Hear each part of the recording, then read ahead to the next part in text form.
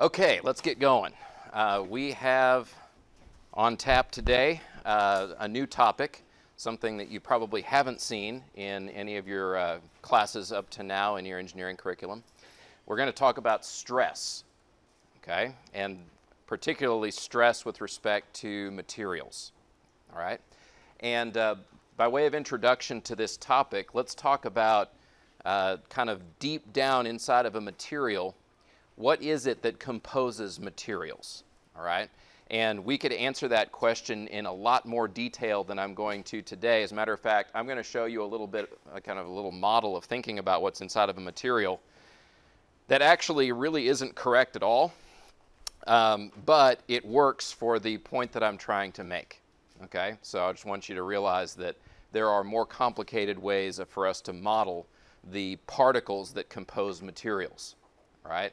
But it's not wrong to think of materials as being composed of particles. And so that's what I'm, I'm trying to maybe motivate right here at the beginning. So uh, what we're going to do here is think of this as being a particle that could compose some material, and then think of the particle as having a certain number of bonds that it is capable of making with its surrounding pieces of material. Okay? And uh, with one piece of material, one tiny little particle like this, I mean, A, that never really happens, but B, it doesn't, you know, do us much good to think about, you know, how much force it could take before that little particle itself broke. All right, so let's think about the, uh, the next size up for us to think of uh, a piece of material. And let's think of it as being two particles. Okay, so here's a particle, and there's a particle. And we can think of there being all these bonds available. So this bond happens between this particle and this particle. We could show all the other ones too if we wanted, right? We could show other bonds happening here or potentially could happen. All right? And let's think about uh, applying a force to these bonds. And the force that I'm going to think about applying to, I guess, this one bond, right? Let's say that I apply to it exactly the amount of force that it takes to break that bond. All right, and let me just call that value F. So that's how much force it takes to break this bond. And this is kind of your smallest piece of material that has more than one particle that you can imagine. Okay? Good so far? All right. So now my next question is if that is basically what we're kind of talking about there, that's the strength of one bond right? It can carry that much force, F, and that's the strength of that one bond. What if I uh, add another bond into the chain? Okay, so let's say I, uh, instead of just having two bonds like that, now I have three bonds. Okay, so I have this, this, and this. And now I'm, I'm talking about there being a bond here and a bond here. You know, I could show the others as well. But let me just show those because those are the ones that matter to me in terms of how this thing connects with its other material. Okay. How much force should this be able to take? Okay, someone says it should take the same amount before it breaks. Why?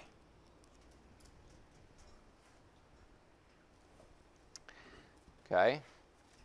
Well, we would imagine that if this is the same kind of material with the same kind of bonds, we wouldn't have any reason to think that one of those bonds would be any different than the other bond. And in order to break this piece of material, uh, it only takes breaking one of the bonds in order for the material to come apart. Right? If either one of the bonds breaks, the material will come apart and it will break. Okay? Good so far? So, what we can actually surmise from this is that in terms of how much force a body can take before it breaks, we shouldn't primarily be looking at the length of the, the body along the direction that the force is being applied, right? Because all you're doing is you're stacking up more bonds that are more or less the same, and it doesn't make it any more or less likely to break by, you know, stacking that length up. Okay?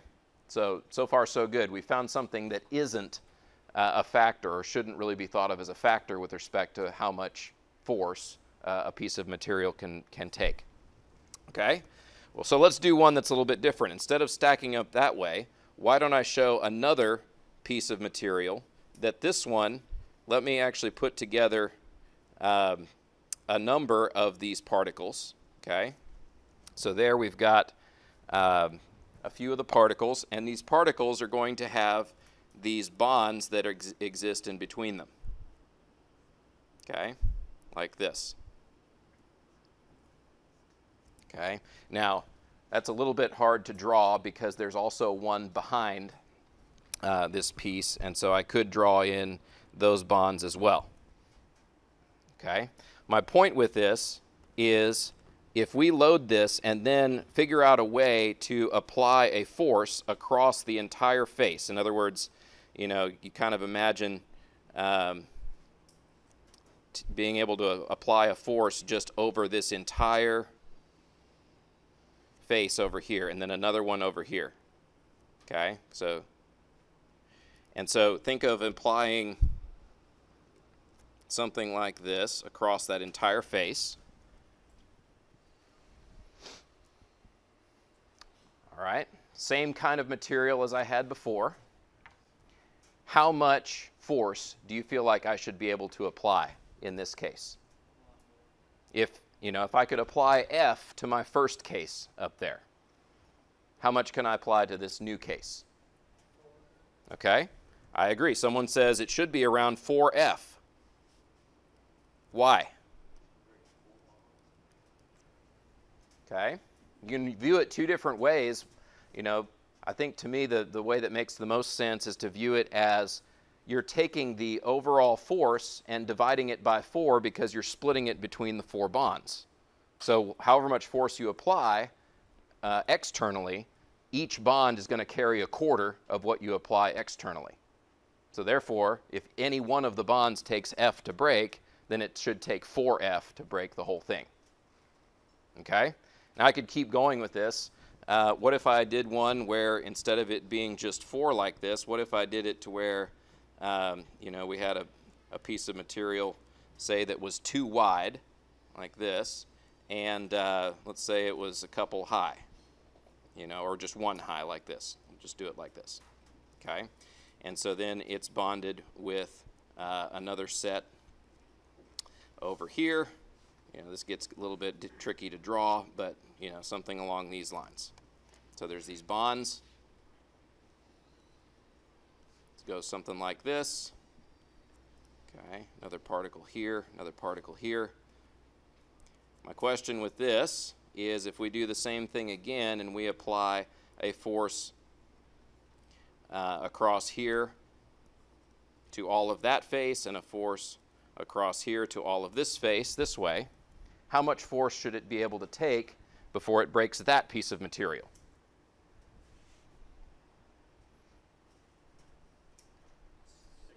6F, okay? And you're doing the same thing. You're basically counting up the number of bonds. All right. This is all fine and good when we're thinking about this microscopic level and think, you know, imagining to ourselves that maybe we could see all these little bonds and count them all up and figure out how many of them would break. You know, that's, that's all nice and fun to think about, but that's not how we actually experience materials, right? Because the materials we experience have millions and millions, probably billions of these little bonds that hold it together. You know, add to that another factor, and that is that um, you, uh, you don't actually have in a real material all these nice straight bonds that are exactly the direction that you're pulling uh, on the material with, right? So it's actually more complicated than what I'm saying here. But there's a principle that happens here that actually holds regardless of those discrepancies between what we're doing here and what the real world has. And it's this.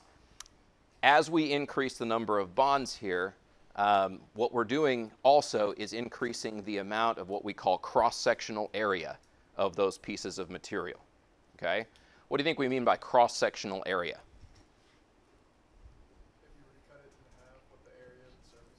Okay, yeah, you imagine like essentially cutting through this thing with a plane, you know, and you're basically cutting right through this thing. You're saying, how much area would I cut through with a plane that's perpendicular to the direction that the, of the force that I'm applying, right?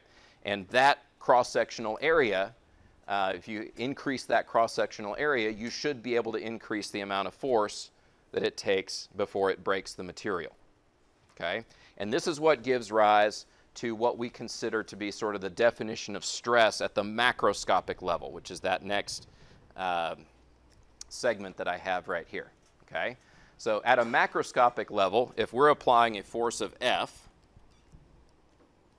to a piece of material, right, then we define a certain amount of stress, which the, the symbol that we use for that, okay, I'll say stress here. Okay, and actually I'm going to put something else here, normal stress. We'll talk about the other type here in just a second, but normal stress, we give this the uh, symbol of lowercase Greek sigma. And the way we handle this is by taking force divided by area. And when we think about the area, what we do is we think about cutting through the piece of material with a plane that's perpendicular to the direction of the applied force. Okay, that's actually part of why we call this normal stress, because the word normal carries with this, this idea of being perpendicular. So this is a stress uh, on a plane that is perpendicular to the direction of the applied force. Okay? All right, so let me put a heading on this that says this is for normal stress.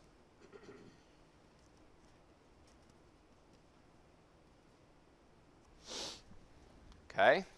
Now let me contrast that with another type of stress that is called shearing stress.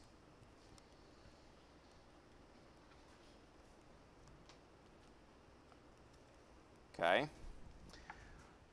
And the easiest way for me to describe shearing stress is to show a, uh, a force being applied to this little piece of material here, and this time defining a plane that instead of being perpendicular to the direction of the applied force, now this plane is parallel with the direction of the applied force, right?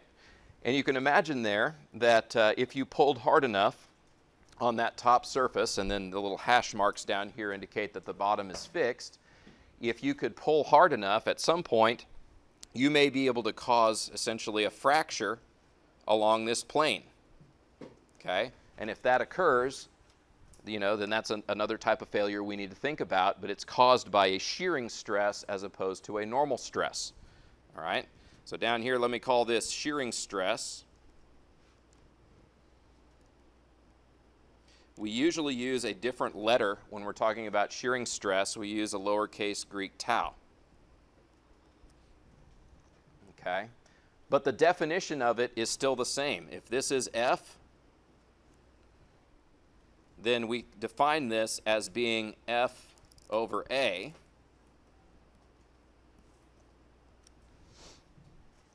Okay. The only difference being that the A that we're talking about here is perpendicular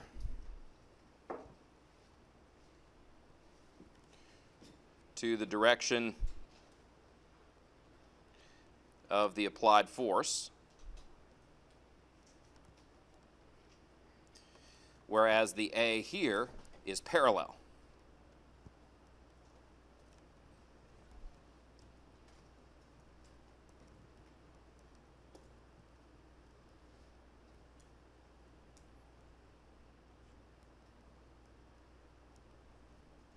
Okay?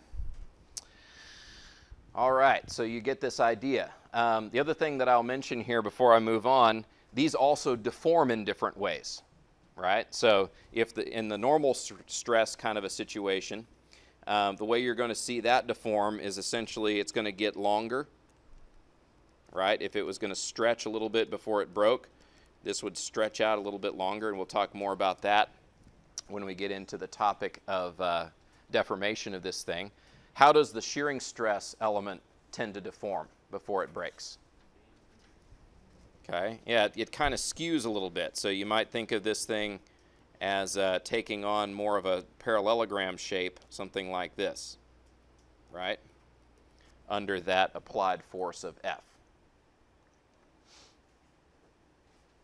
Okay, but either way, we're talking about the definition of stress being uh, force over area.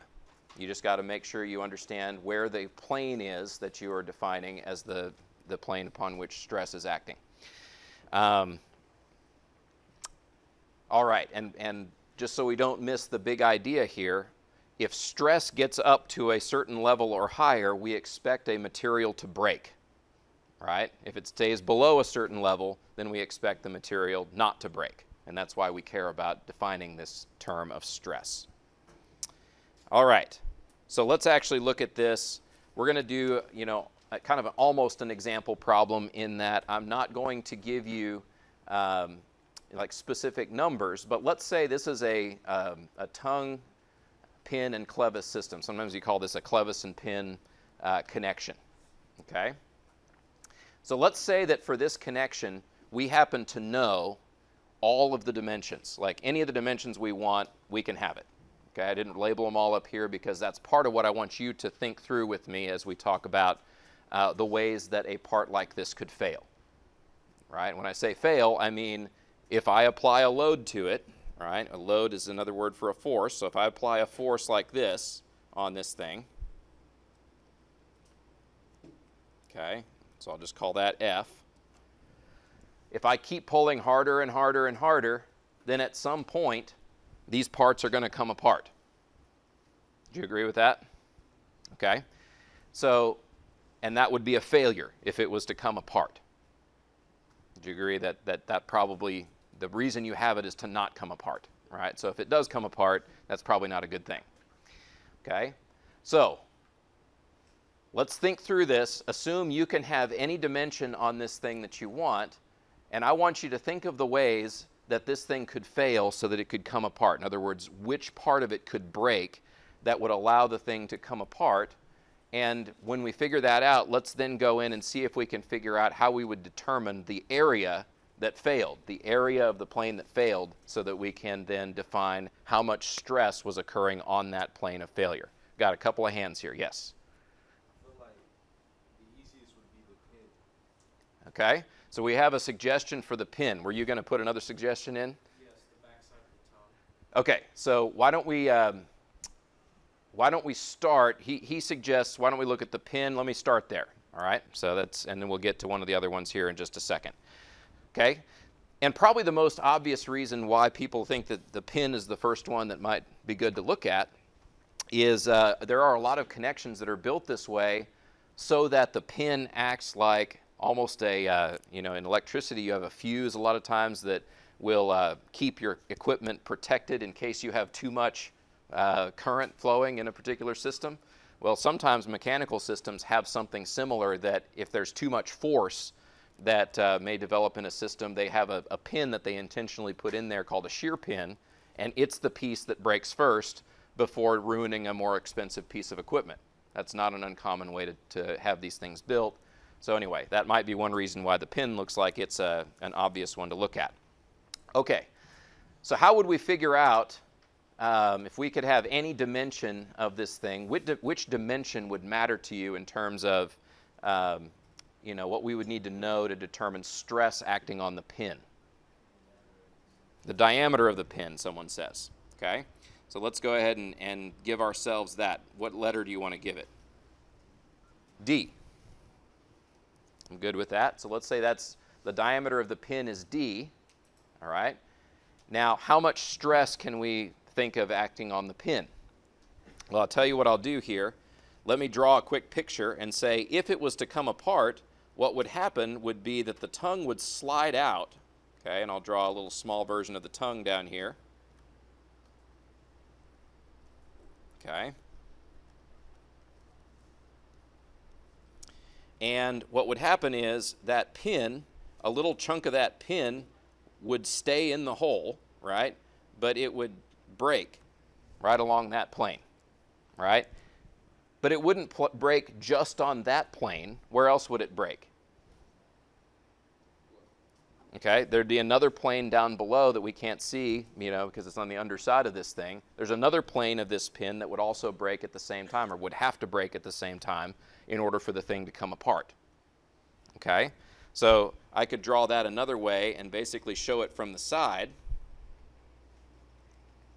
where I would show that this would be the tongue that's being pulled on with a force of F, and then there'd be little chunks of this pin that would be left over, and the, the uh, faces that would have been broken in order to make this thing come apart would be right there on top and then another one on the bottom. Okay, so one way of looking at this is that we would have f over 2 and f over 2.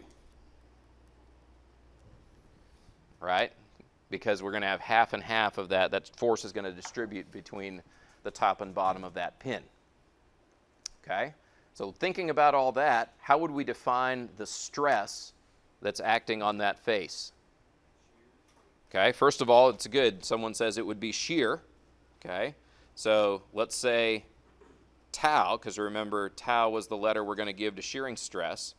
It's going to be equal to force over area, just like all the other ones.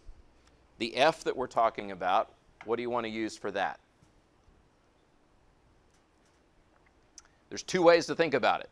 Okay, one is to think about looking at just one of these faces right? If you do that, you would say the force acting on that face is going to be F over 2. And what's the area of that face given that we know the diameter?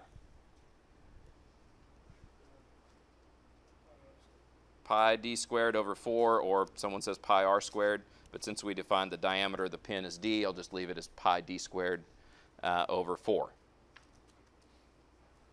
Okay? What's the other way of thinking about this? Okay? You can think of it as uh, you have a total amount of area of two times the circle, right? And you have a total amount of force of F.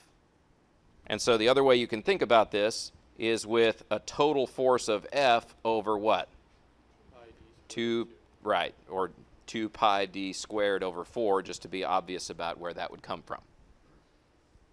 Are these different? No. Two different ways of thinking about it, but same conclusion. Um, and so it's the same, you know, kind of the same deal. All right.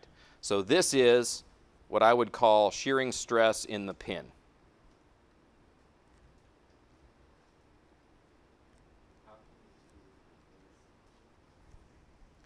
Okay, the question just now was why are there two different equations? Okay, because we approached it from two different ways of thinking. But if you look at them carefully, the two equations are mathematically the same. We just arrived at them two different ways, so they're arranged in two different ways. Okay? Now, I want to make a point here that say to say that my point with all of this is absolutely not that you should be memorizing a bunch of equations. That is not what I'm trying to do up here. What do you think I'm trying to do? Right, I'm trying to spur you to start thinking about any type of a connection that you look at.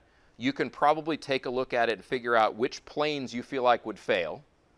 And then once you do, you can figure out are those planes, they look like they're parallel or perpendicular to the force that's being applied, right? So that you know whether you're talking about normal stress or shearing stress, okay? And then after that, figure out what the area values are going to be of those faces and you know along with the force that's applied to those faces so that you can figure out the stress that is going to be applied. So this is one example where we have done that for this connection. Okay? Now, that's good. Someone else had another idea and, it was someone said the backside of the tongue. Is that what you said? Okay. Let me uh, I don't know there's a couple ways I could interpret what you're saying, so let me I'll pick one. And uh, if it's not the right one, we'll do the other one later. Okay?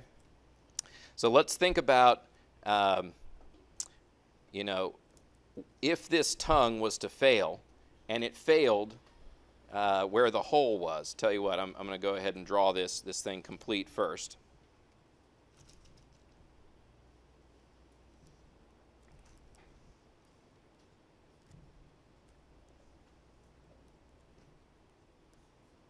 Okay. And we're talking about there being a hole right here. And there's still a force of F applied over here. Which means that F must be reacting in the hole, right? In other words, the pin is putting a force in that hole, and the tongue is, is now being stretched by this force of F.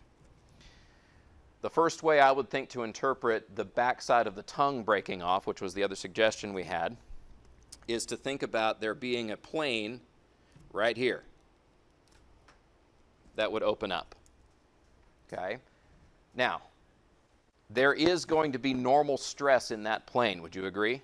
Because that plane that I just set up right there is perpendicular to the direction of the applied force, so there's going to be normal stress on that plane.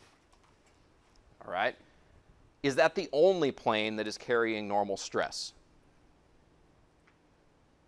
Okay? In other words, could I have put another plane here? Is there a plane right there that's also carrying normal stress? Okay. Why would I not look at that plane and instead look at the plane that I drew first?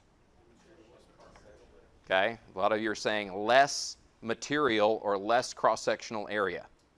Right? There's actually less material to share the load because the hole is in the tongue. So that is, doesn't count as area that carries the force because it's missing. Right? There is no material in the tongue in that hole. So you decrease the amount of cross sectional area there. Decreasing the amount of cross sectional area does what to stress? You're decreasing the denominator, right? So what are you doing to the stress? Increasing the stress, which means it's more likely to fail if, if everything else is equal about the piece, right? It's more likely to fail uh, where the hole is than somewhere else. You got a question?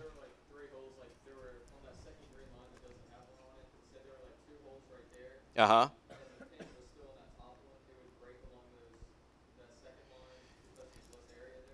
Okay. I don't know if I follow exactly the scenario that you're, you're talking about, but I will say this. What you have to do is you have to look at the, uh, the amount of area that's still there, right? And if,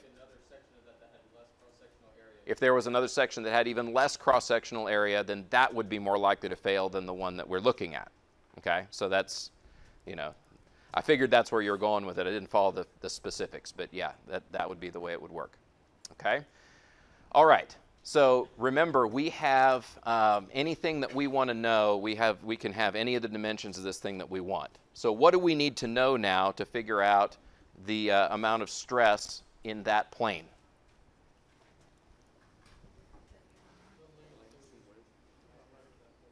Okay we again need to know the diameter of the hole, which, you know, let's, uh, I'm going to give you another term here real quick for you to think about. Um, I'm going to say that these parts are all close fitting. What do you think that means? Okay. It means that we're assuming we are really good machinists, right? And we can literally make that pin exactly the diameter of the hole, right? So that it slides right in there with no gap, right? But it still slides, all right? So we're, we're going to do it that way. So we're saying this is perfectly close fitting just to make our lives a little more simple, at least at this point, okay? So it's close fitting, which means that the diameter of that hole now is what? D, because we defined it up there as D. Okay?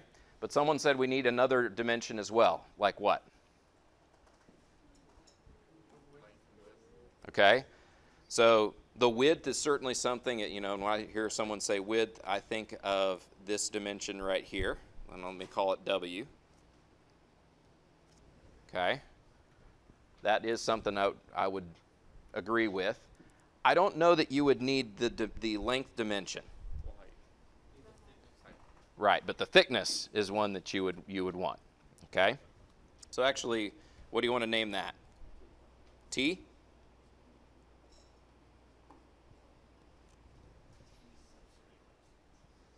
T subscript T? Okay, he wants to name it T sub T so we know it's the thickness of the tongue. And I can respect that, you know. At the end of the day, just remember you're not here to memorize formulas, you're here to understand where we're getting this from. And that way, anything I throw at you that might be different than a clevis and pin, you'll be able to deal with those, right? Okay, but I'm okay with naming it T sub T. All right, so now we have some, some pieces of information. How do we figure out the stress on that plane that's a potential location of failure? Find the cross-sectional area.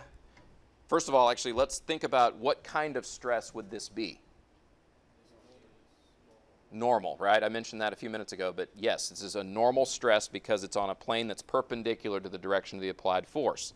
So let me use sigma, because that's a normal stress, all right? How much force? F over uh, Okay. F. And now, because some of you may have a hard time visualizing this, let me actually go ahead and uh, show you what it would look like if this piece was to break off, right? It would look something like this.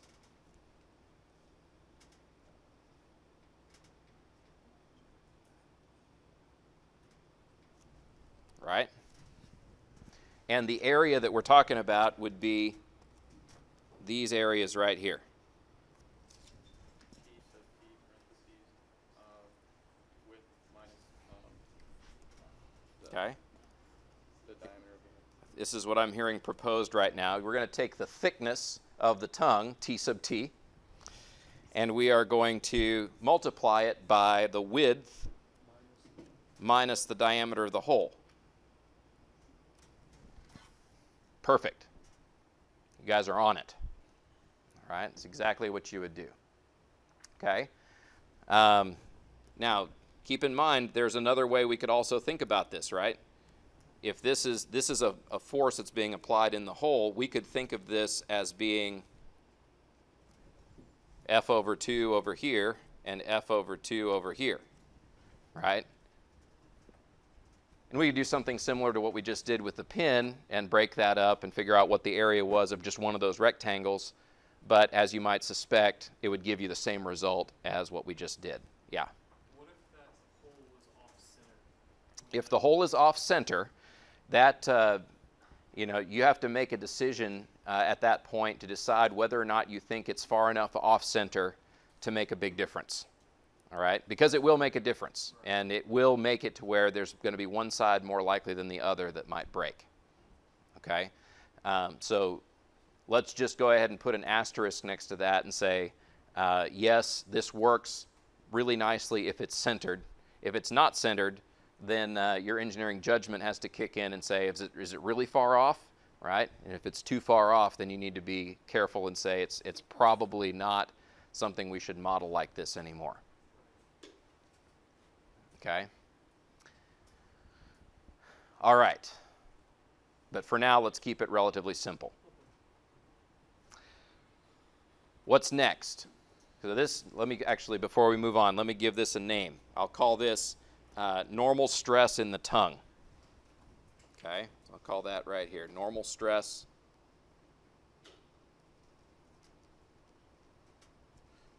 In the tongue. All right. Who else has another suggestion that, of a way that this thing might break? Okay, someone says the material behind the pin could shear out in a little tiny chunk, right? I think this might be what you're talking about right here. Do you agree that there could be a couple of planes that would break right there? And if those two planes broke that I just sketched right there, then the tongue would pull out and it would, you know, leave that little chunk of material behind the pin, but the whole thing would, would come apart if those two planes were to break. Okay? So I agree. That is another way that this thing could break. And so let's actually go down here and say, what would that chunk of material look like if it was to break out? Okay? To me, th- I think it would look something like this.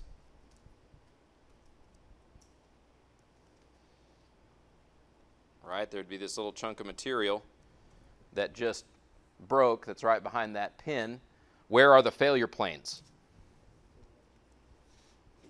They're right here, right? There's one I could identify right there, but then there's another one on the on the opposite side as well. So for that plane to break, would it, ha- it would have to be smaller than the ones on the, Ah, good good point. So he's saying if that one breaks first, right? If, in order for that one to break first, you would have to have less area than the the other direction. And he's got a good way of thinking about it, but I want to add an, another point to that. The strength of a material against failing in shear is not the same as the strength of a material against failing in a normal orientation. Okay? As a matter of fact, the strength in shear is generally about half of the strength in a normal orientation. So the, the general thought is right, but you also have to add in this other factor that says if it's going to fail in shear, it has a different strength in that orientation than in the uh, normal orientation. Yeah? Is that based on our principles that we determined earlier with particles? Is that when you line the bonds up in a certain way, it just doesn't? So his, his question is, is that based on our theory that we had earlier about how you can line up the bonds, and that's why it would end up being ha- about half the strength in shear? Um, it is related to that, but it's just a little more tricky than that. Okay? As a matter of fact, we're not even going to get into uh, all the reasons why that that is. Uh, a later mechanics and materials class is going to cover that material for you as to why that is that there's this relatively set ratio between shearing strength and normal strength. Yeah. His question is, is it the yield curve that determines that? And I, I think he might be talking about a, uh, a stress strain curve for a piece of material. We're going to talk about the stress strain curve next time. So we'll, we'll get to that. It's, it really isn't that, though. Yeah. Is it relatively similar for most materials? Um, his question is, is it relatively similar for most materials, that ratio between shearing strength and normal strength? Um, surprisingly similar between material groups. It's not always exactly the same, but it's the same enough that uh, it's the kind of thing that if you don't have information about one of the kinds of strength, um, you can be pretty sure if you're doing some kind of mechanical design, you, it's, it's a reasonably good assumption to make um, to, to find that ratio between the two strengths. All right, but I'm going to cut that short a little bit because that, that will be a topic for those of you who stick with it. Um, I cover that in ME 361. So hopefully you'll be around until then, those of you who are in mechanical. Your other folks, um, I'm not sure whether or not you'll get it. So.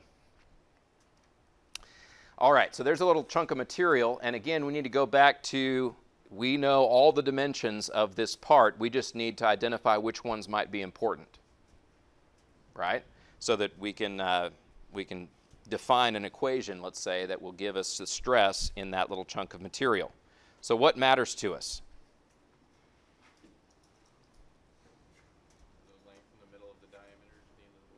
Right, the length from the middle of the diameter of the tongue to the end of the block. That little length right there. What do you want to call it? Okay. L sub P or something like. Yeah, it doesn't matter. All right. Whichever one we Why don't we just call it L? do. There we go. Okay. So if that's L, where is L on here? It's this, right? Did we already have this dimension? That was our T sub T, right? All right, so what kind of stress would we we be talking about if it was to fail in this orientation? Okay, it's shear. Why? Because the planes are parallel with the direction of the applied force, right? Because what we're talking about here is that uh, we have a force being applied this way of F, and then each of these planes is reacting to that. You could call it F over 2 or whatever on each side that are reacting to that force uh, of F that's pulling on that little chunk of material. Okay? And so, what would our stress be? Shearing stress, right? What would it be in terms of our formula? Okay, we could say force over, L times T sub T. okay? Now on the one plane, it's L times T sub T, but keep in mind there's also another plane back on the other side, right? Back here, there's another plane that would also have to fail at the same time for it to come apart. So this would be 2 times L times T. Okay? So far, so good? All right. This, by the way, we often refer to this as tear out stress.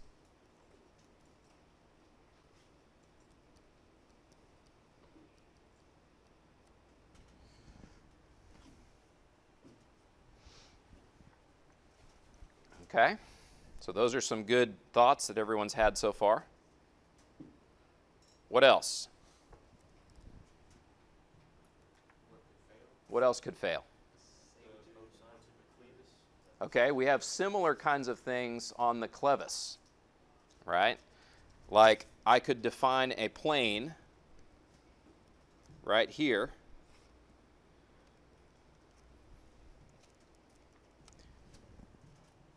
Right? And uh, if it failed on that plane, both on the top, you know, tongue of the thing and the bottom tongue of the thing, if it failed on both of those, then the whole thing would come apart. Okay? So let me, let me throw a few dimensions up here that might matter to us. Let's say this width, this is a width of W still, like we had for the tongue. Okay? Um, what do you want to call these little guys? Okay? I figured we might have a subscript on these. T sub C.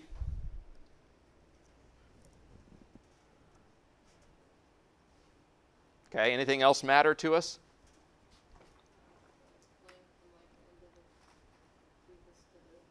Okay, so the uh, another suggestion is the length from the pin to the end of the clevis, and I would say that definitely would matter if we were talking about tear out uh, for the pin out of the clevis. But if we're talking about normal stress, then that's not a, a dimension that we need to know. Okay, so let's actually look at that real quick. So we're talking about there, um, you know, two pieces of material coming apart that each look like this.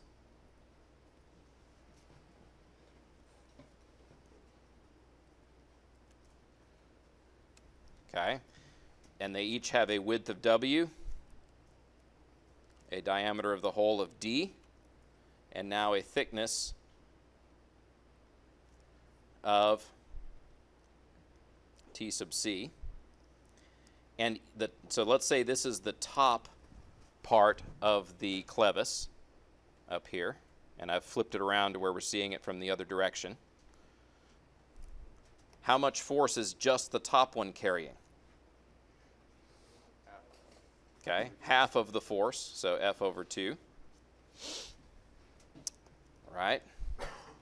And so now if we want to figure out this normal stress, we can say it's F over 2 over what? T sub c times W minus D.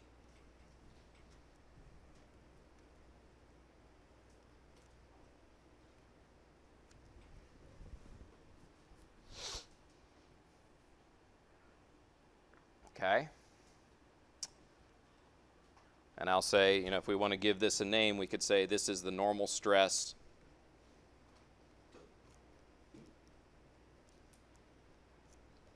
in the clevis.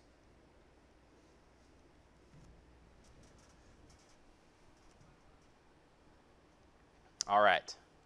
Now we could do the last one if we want to, right? What's the last one you think? Tear out. Tear out. Um, how would that work? Let's let's not even spend too much time on it. Well, how would it work though? Right. We'd have two little chunks of material uh, each of which look like this. Right? And so you'd have to figure out the total amount of area, understanding that each of those chunks had two sides to it. All right? You guys are doing great. There is actually one other way that this thing might fail that's a little bit less obvious. Yeah.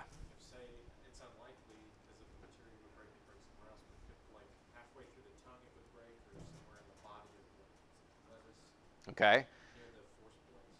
So his suggestion is it could break maybe somewhere halfway between, like halfway down the pin or somewhere else in the clevis. Those things are certainly possible, and there is a whole effect that I'm not even accounting for here, and that is the pin uh, can do things like flex, right? So the pin, it under the load that's being applied there, it might actually want to bend, not just shear.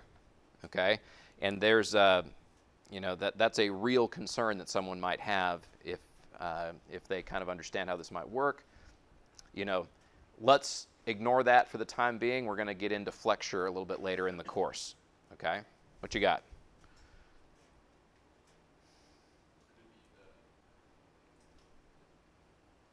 I wouldn't call them tongues, but the, the parts of the clevis that jut out over the tongue, they could, uh, they could uh, break under normal stress on the back half.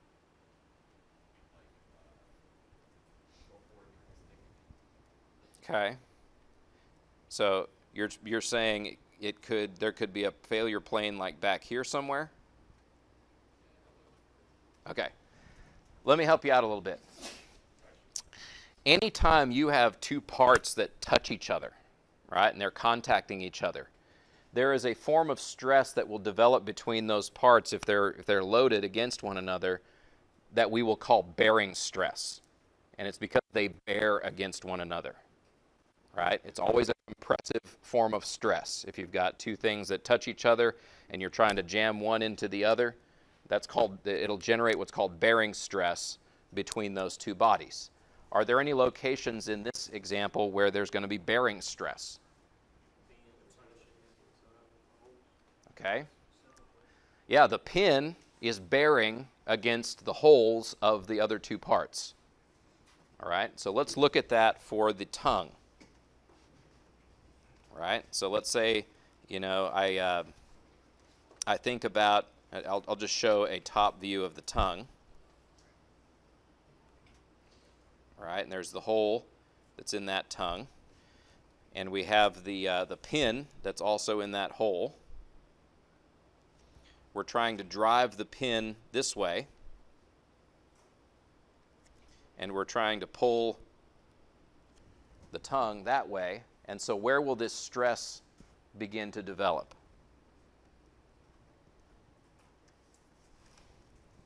Do you say basically right around here?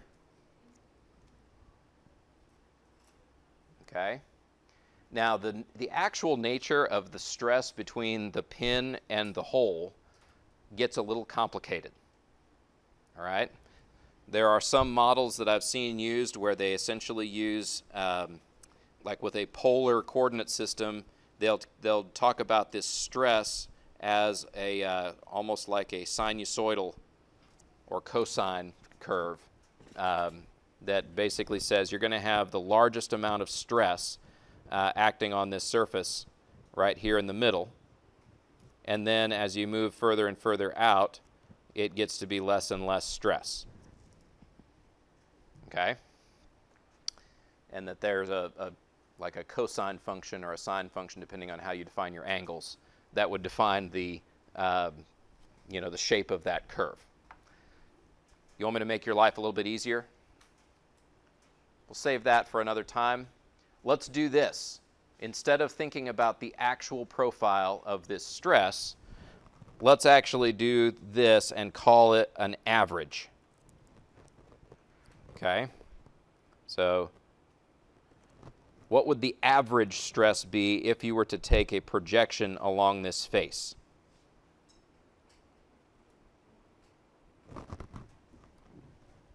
Okay, in other words, you know, it's kind of the same stress along the whole face. What do you think a good way would be to figure that out?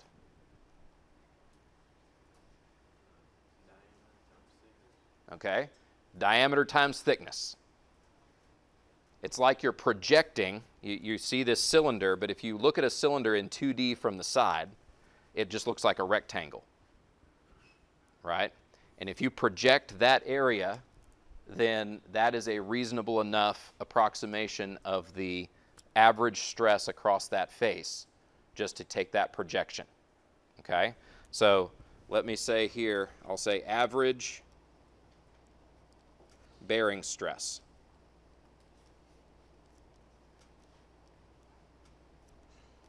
Okay?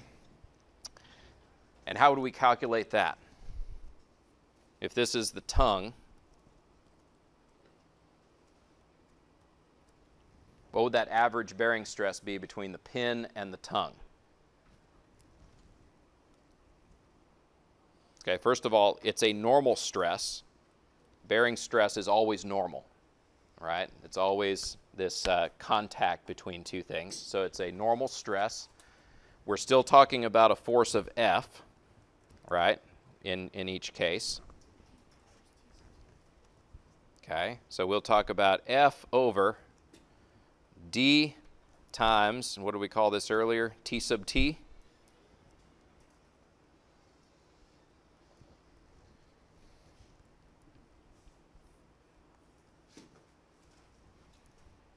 Okay, so his point just now was if something was going to fail in, a, in this bearing stress kind of a scheme, you know, that wouldn't be as catastrophic, right? That's, that's his point. Okay? And that's a good point, right? If it fails, what's going to happen? Okay? Well, I'll tell you, practically what tends to happen is the hole itself will often mushroom, right? It'll actually move some of that material uh, out of the way. It doesn't usually maintain the exact shape that it was before. It'll actually sort of begin to mushroom out at the location where the uh, force is being applied. Um, have you all, I mean, some of you have probably towed trailers in the past, okay? And you have a hitch on your truck, right? Uh, and a lot of you probably have the style where it's got the receiver, and then you've got the, the ball mount that goes into the receiver, and you put a pin through it. Okay? Um, so this is an example that's very similar to that. Have you ever seen someone who has loaded one of those to a, an extent that they shouldn't have? Okay? Have you done it? Yeah. Okay. So what happens to the holes?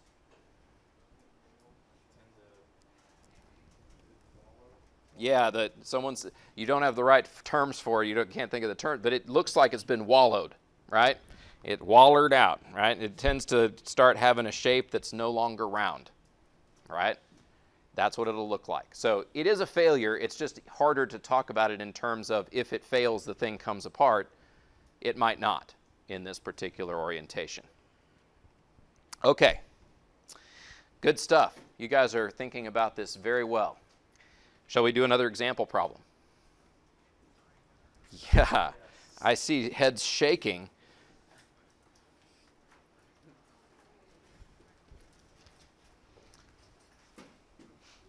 This is not a clevis and pin. This is a different kind of connection. Some people will refer to this type of thing as a T-slot, right? So the idea here is that we have a T that's sitting in another piece that has a slot, right? Again, it's close fitting. And let's say it's symmetric about the center line. All right? And what we want to do is find the normal stress first in the stem of the T, then the shearing stress in the flanges of the T. The little pieces that stick out to the sides are called flanges. All right? Then we'll find the contact stress, which is another word for bearing stress. We'll find that between the T and the slot. Then we'll try to figure out what the worst normal stress is in the slot. And we'll try to figure out the shearing stress in the fingers of the slot. All right? So let's do part A. Okay? Normal stress in the stem of the T. How do we do that?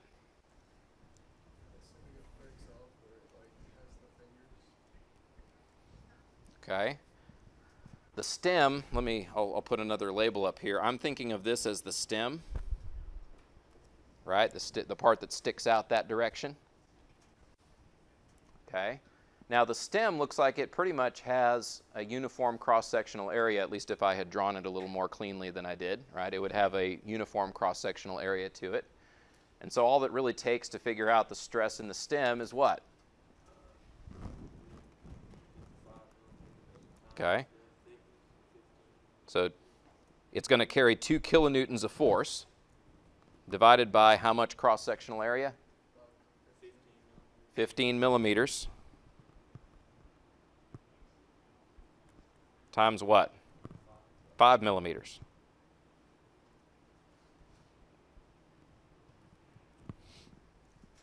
Okay? So, so now what? Like, I need to get this into some actual units of some kind, right? So, 2 kilonewtons. What do you, what do you want to do with the kilonewtons? Would you say there's a thousand newtons in a kilonewton? Okay, so I can apply a conversion factor like that to the numerator. What about the denominator? Okay, there are a thousand millimeters in a meter. Okay, so uh, if I want to, I can say uh, a thousand millimeters in the denominator, like this, and a meter in a numerator like this. But is that enough? I have millimeters squared, right? So I should probably take this conversion factor and square it. All right, so let's type this in. All right, I've got 2 times 1,000 divided by 15 times 5, all right, times, let me put another fraction in there, 1 over 1,000, but then that will be squared. Okay. Let me show you another nice little trick here. If you would like to show this in um, a different kind of notation, like a scientific notation, this little ENG key is really helpful, right? It'll show it to you in a little bit different orientation or, or notation, I should say. Um, so what's our answer?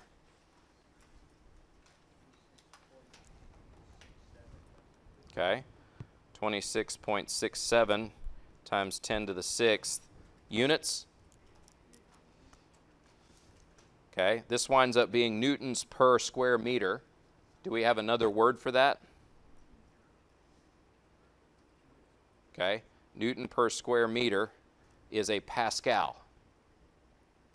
All right. And 10 to the sixth, do we have any uh, prefixes for that? 10 to the sixth is a million, right? And a million, we often use mega as the prefix that denotes a million, right? So what we actually say here is that what we have is 26.67 MPa.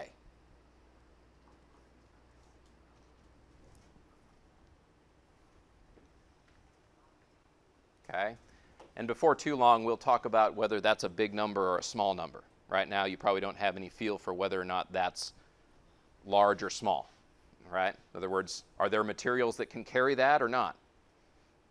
You know, I'll let you know I'm not worried about it. Materials will carry that. Okay? But we'll talk about that a little bit more depth soon. All right, what about the next one?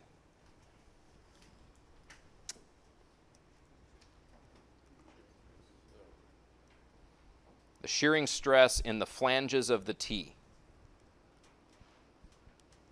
Okay, so it tells us we're trying to find shearing stress, so let me just put a tau up there. The flanges of the T are the pieces that stick out, and so if I was going to identify where I would make a cut, I'd basically say for them to shear off, there would have to be a couple of planes right there. Right? And both of the flanges would have to shear off for the stem to come out. Right?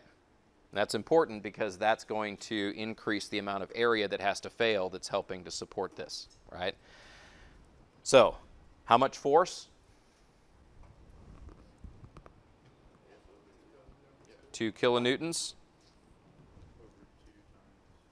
Okay. There's two planes, so you do two times. What are the dimensions of that flange? Okay, 8 millimeters times 15 millimeters.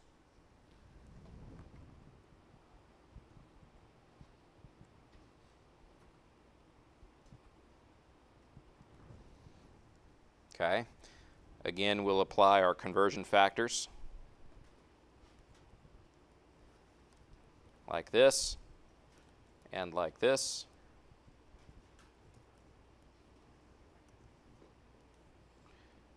Okay. And actually, it won't change a whole lot from the one I just entered right here, right? What changes? Okay. Let me just put in new numbers here. So let's say I already had a 15. Let me put in an 8 and a 2. How about that? Okay. What's my answer? Okay, 8.33 megapascals. Okay, earlier I shared with you that um, shearing stresses are typically about half of uh, normal stresses in terms of the strengths, I should say. The shearing strengths are typically about half of normal strengths. So which one is more likely to fail? Is it more likely to break the stem off or is it more likely to shear the flanges off? Which one has more stress? Okay. You got 26.67 megapascals of stress in the stem. It is twice as strong in that orientation, but you're more than twice the amount of stress, and so you would expect that you would probably want to, you know, the first thing that would happen would be failure normally in the stem, not shearing of the flanges. Okay? Does that make sense? We'll get to that a little bit more. Don't worry. Um, all right, part C contact stress between the T and the slot.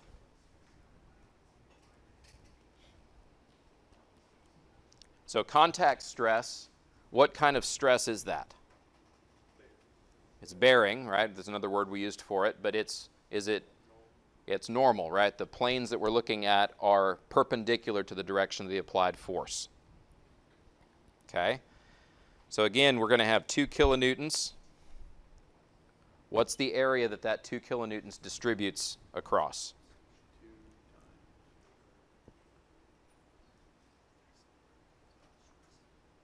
All right.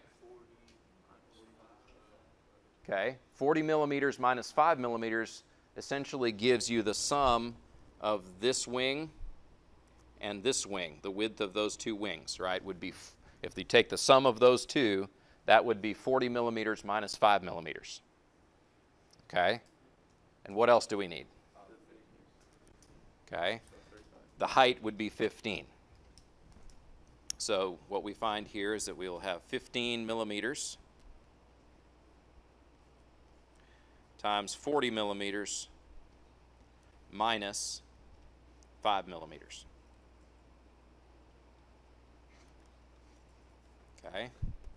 Apply again our conversion factors.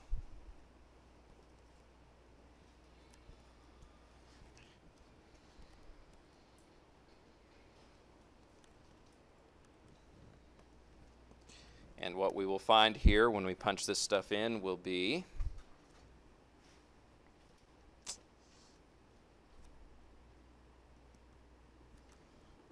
put in here 40 minus 5.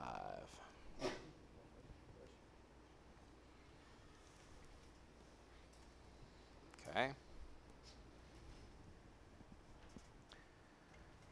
3.81 megapascals.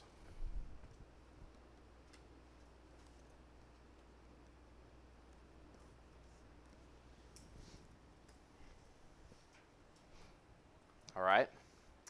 So a lot of you are copying that down. While you're copying, let me actually put a little asterisk on here. For this particular connection, um, it is actually important for us to remember that we're making an assumption. We're making an assumption that flexure is not a problem, right? That the, the wings of that T, we're assuming those are just going to be stiff as possible so that it perfectly distributes that force across those areas. In real life, you think that's how it would work? Yeah, the, the material's not perfectly stiff, right? So it's going to actually start flexing those T's, and as it begins to flex the wings of, those, of that T, it'll that would have an effect in real life on the stress distribution on those faces, right? We're not asking you to think yet to that level, but I, I do want to mention that that that is a, a factor or an effect that um, you know before we go out and try to do a bunch of design, uh, just remember that that's something that will also go on. Okay. Part D. Worst normal stress in the slot. Why do you think I worded it that way?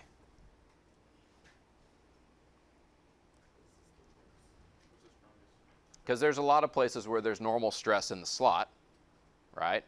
I could take a cross section way over here, right? And there would be normal stress in that cross section. But that's not where the worst is going to be because there are spots where it has a lot less cross sectional area that's carrying the same amount of force. Okay? So where would where do you feel like the worst case is going to be in the slot?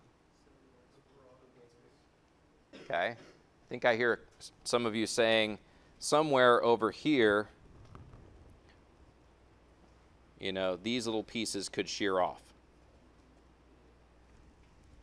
Or not shear, there'd be normal stress in those, right? So those little pieces could fail in a normal, normal stress orientation. Okay? Well, how do we figure out the, that amount of area?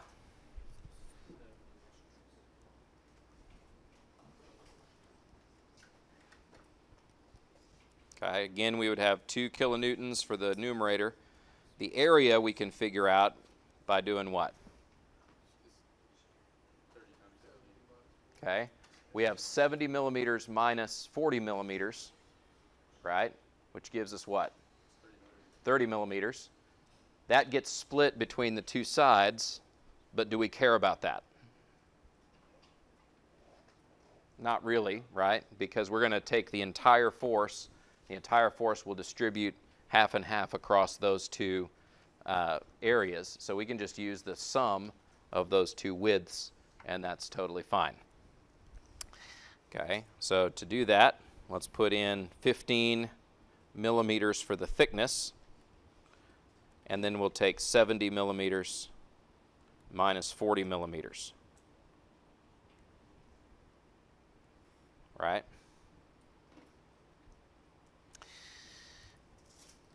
And we'll apply our factors again. 1,000 newtons per kilonewton. And 1,000 millimeters in a meter. And once we plug these in, uh, we end up with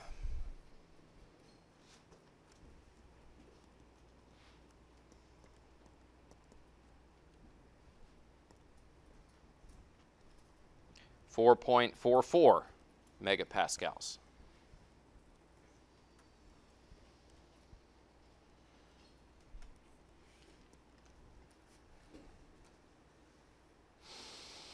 All right. And since that's a normal stress, you know, the number that we'd compare it against would be a normal strength, right? So, so far, our worst case, it looks like, is the stem of the T. All right, the last one we'll look at is the shearing stress in the fingers of the slot. Okay, what would that shearing area look like?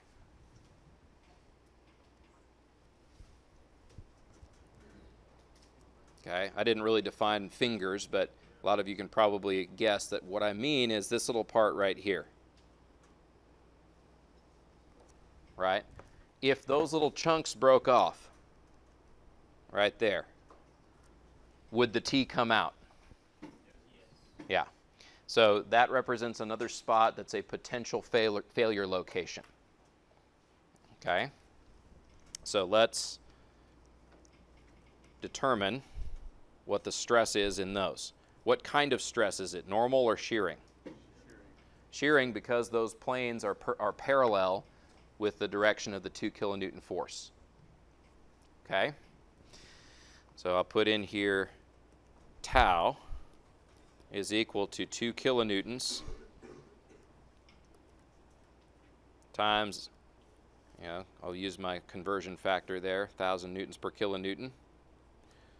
This gets divided by What are those lengths that we care about? 35, since you can take the 5 away from 40, it's already multiplied by 2, so you don't have to worry about it. Okay. 5 times 50. Yeah, this is saying that this right here is 10 millimeters, right? So that's that length, and the height is 15 millimeters. So someone says 2 times 10 times 15, right? I agree with that. 2 times 10 millimeters times 15 millimeters.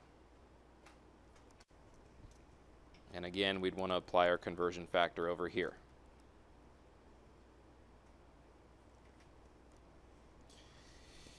All right. Well,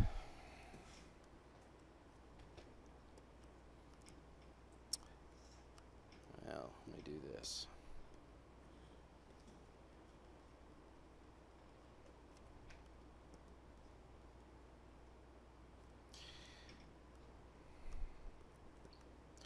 Two times ten times fifteen.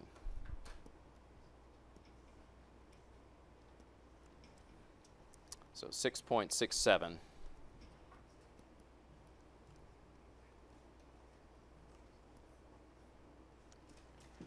megapascals. Okay? Let's think about one other thing real quick before we leave this problem. Do the do the T part and the slot part have to be made out of the same material? Okay? So let's think about for those shearing numbers we just found. Um, you know, we have the shearing stress on the flanges of the T. We have a number for stress in that, and we have a number for stress uh, for the slot part of it. Do we know for sure that the T will break before the slot? Okay. Good point, right? He says the T could be made out of steel and the slot could be made out of styrofoam. Right? The T is going to win, even though it has more stress in it. Right? It also has a heck of a lot more strength to it. Okay? So these are, these are good things for you to think about. Um, if you do have two things that are the same kind of materials, that have the same material strength, well, then you can directly compare your stress numbers and you can have a good idea as to which one will fail first, right? But if they're not the same kind of material, you can't do that. Beautiful. All right. Any other questions before we finish up?